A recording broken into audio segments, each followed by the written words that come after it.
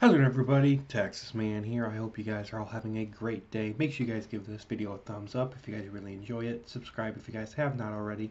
Also do me the biggest favor of all, hit the bell notification button so you guys do not miss out on future videos or streams here on the channel.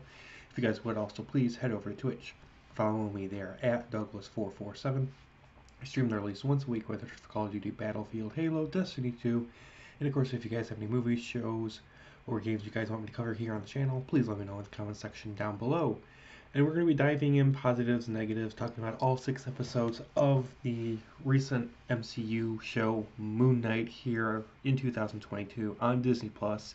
Of course, um, eventually in a few weeks, you can purchase this from 30 part, from third-party retailers, and you can acquire this on DVD and Blu-ray uh, if you guys don't want Disney Plus. So there will be that option in case you guys are wanting to wait and watch it then. And I encourage you guys to do so because this is by far the best MCU show that they have produced. Now, what I mean by MCU show, I'm talking about MCU canon because unfortunately, things like Agents of S.H.I.E.L.D., Daredevil, Jessica Jones, Iron Fist, uh, Luke Cage, The Defenders, those shows unfortunately are no longer canon. So when I'm talking about MCU, I'm talking like WandaVision, Loki, Falcon and the Winter Soldier, um, Hawkeye.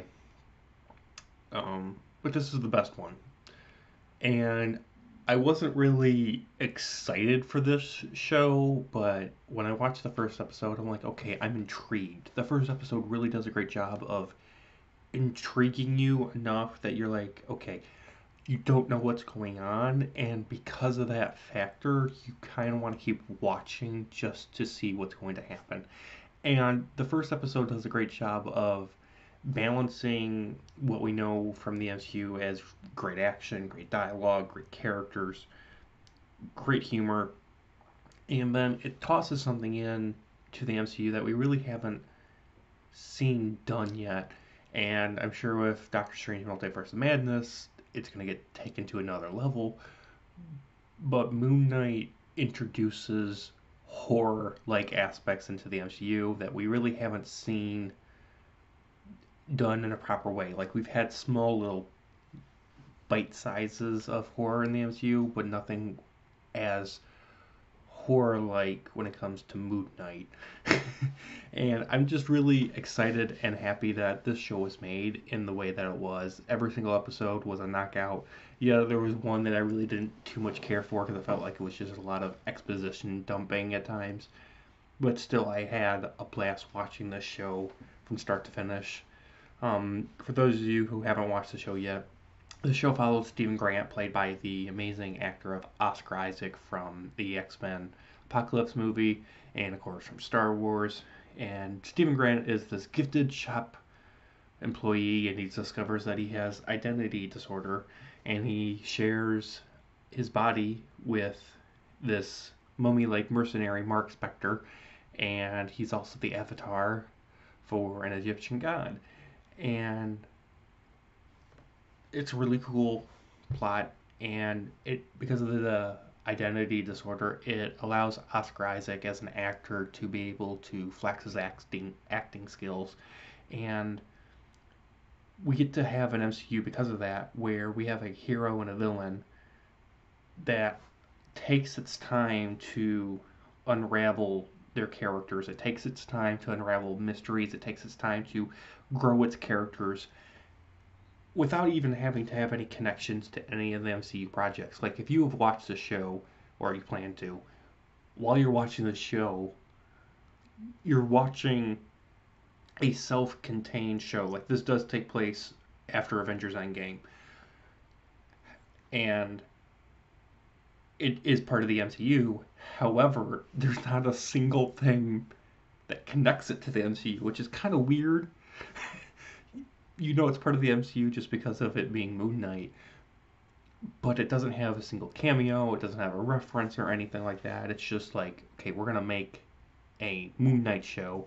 Yeah, he's a Marvel character, but we're not gonna try to shoehorn in all these connections and cameos and Easter eggs and references. We're just gonna make a show for the sake of making a good show. And for that, I'm happy for. Fantastic practical effects, the CGI and the soundtrack, all amazing. Oscar Isaac, of course, is awesome. Ethan Hawke is the main protagonist in the show. It's an amazing performance. Um, episodes one elevator scene is super memorable. I really enjoyed that. I also want to talk about briefly, and I'll talk about her again. Unfortunately, I don't remember her name. That's how kind of insignificant she is as a character. Is Mark's wife. She is super well developed. She's kick ass, and she's super resourceful. And I'm just happy that they didn't make her like this damsel in distress character that Mark Spector was going to have to constantly rescue throughout the show. Like, you get to see her backstory briefly. Like, we could use more, obviously, but you understand her backstory well enough for the show's purpose. And I'm just happy that she's not like, oh, I need to be saved because I did something really stupid because of the writing. It's like they write her as an actual character that can hold her own and that actually has thought processes and actually makes smart decisions for the most part. There's like one time she doesn't because action thing needs to happen. But other than that, I felt like she was a great addition, and I'm happy that she was not a damsel in distress. Um, I love the fact that we get to see some Egyptian monsters, and the fact that Mark slash Steven can only see them while normal people that aren't avatars are part of the Egyptian, you know, world can't see them, and I like that concept. The uh, fighting sequences in episode three, fantastic. In episode four, we get a we get to see a small civil war that's been going on between the gods for a very long time, and I kind of wish that got explored a little more. Like we get a little teaser of it. I just kind of wish we got a little more of that Egyptian god civil war.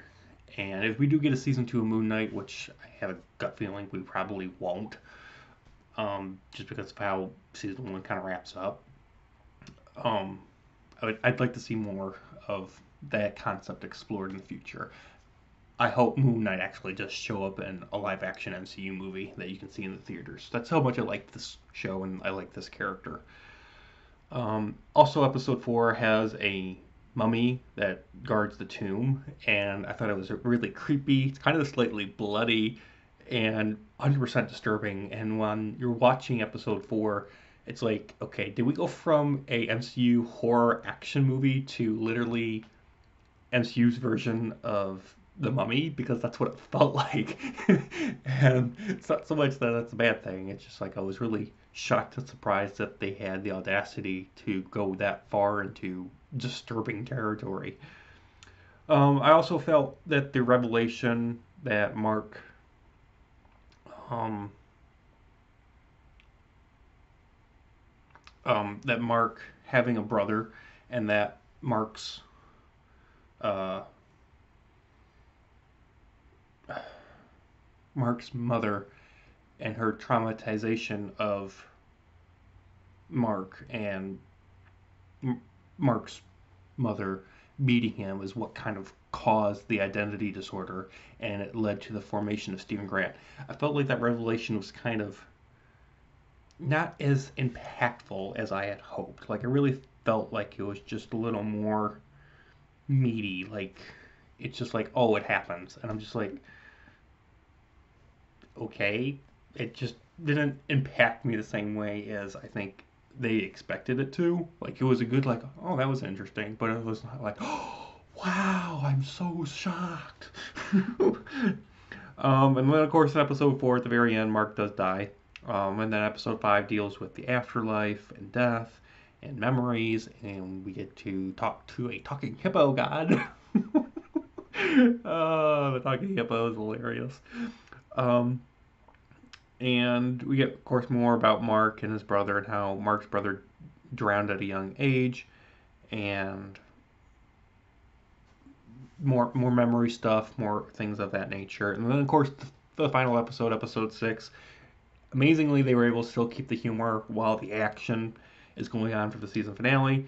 And lastly, I want to talk about is that Mark's wife. I was happy, like I said, happy that she's not a damsel in distress, but she's not a she's like that throughout the entire show, and she ends up choosing to become an avatar for the Hippo God, only to help her husband in the final battle. And I'm happy that she was like, okay, I'm gonna be your avatar to help my husband to defeat big bad guy. But after that, we're done. We're parting ways. This is a temporary thing. And I'm just like, good. She's not going to be a Mary Sue. She's not sticking with this power just because she has it. And she's not going to be like, look at me, I'm super powerful. And she never overpowers her husband. Like when they're both fighting together against Ethan Hawke's villainous character, they're both pretty much on the same power level. Like obviously Moon Knight's more powerful, I hope. They don't make it where like in the Hawkeye show, Kate Bishop takes over Hawkeye. Like Kate Bishop is not supposed to be more powerful than Hawkeye. Hawkeye should always be more powerful than Kate Bishop. In the Hawkeye show though, they do the opposite. Here in Moon Knight, Moon Knight is Moon Knight, and Moon Knight is the more powerful one. Now, Mark's wife being an avatar and helping in the final battle does help. She does help out, and having that extra power boost to defeat the bad guy was essential and very helpful.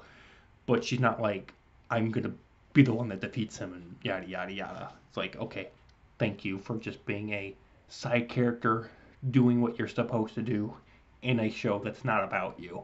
And I'm happy about that. And of course, the very end of episode six, there is a post-credit scene. I encourage you guys to watch it. It is very crucial, very important. I don't want to spoil it in case you guys have not seen it, but make sure you guys do watch the post-credit scene.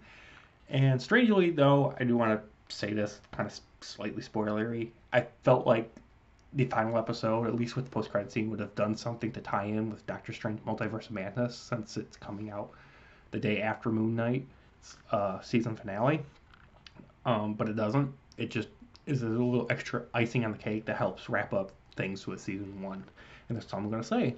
So with that, guys, I'm going to give Moon Knight here from 2022 a 10 out of 10. Thank you guys so much for watching. Look forward to more videos coming out very soon. You guys have a great day, and I'll see you guys in the next one. Bye, guys.